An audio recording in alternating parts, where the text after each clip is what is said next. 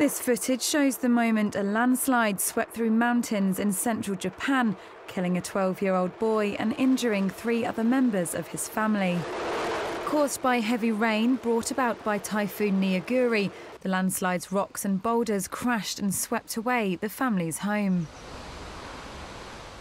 The landslide, captured on a closed circuit river monitoring camera, battered the town of Nagiso. The torrent of rock destroyed bridges, railway lines, and cars and left water pouring freely down the mountainside. The boy's death brings the total of fatalities caused by the storm to three. 50 other people have been injured nationwide, mostly after they were toppled by strong winds. Japan's meteorological agency said violent winds are vanishing, but rain is still a concern across Japan over the next 24 hours.